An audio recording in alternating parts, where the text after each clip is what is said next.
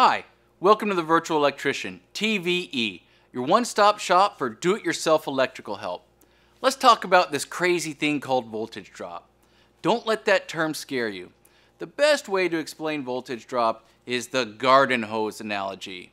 If you have a 25 foot long hose and then you have a 100 foot long hose and you turn the water pressure on at the same time, the pressure is going to be a lot stronger at the 25 foot hose than it is at the 100 foot hose.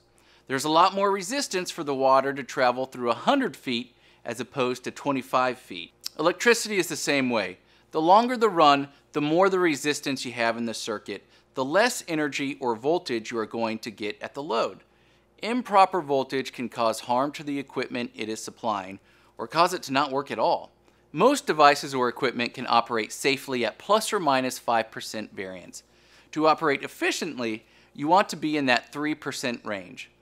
So how do you know when you are going to experience voltage drop? Without getting into a bunch of equations, there is always a good rule of thumb to follow. For every 100 feet, you need to upsize your wire one wire size. If you're running a circuit out to your garage that is 300 feet away, and that circuit is only a 20 amp circuit, then you need to upsize that wire three times. Normally, you would run a number 12 wire for a 20 amp circuit. That's not going to cut it here. In this case, you have to run number 6 wire to account for your voltage drop.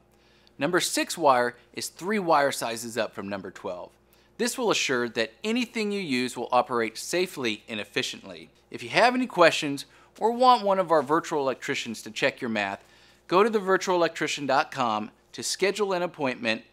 Also, check out our other videos about wire ampacity and load calculations.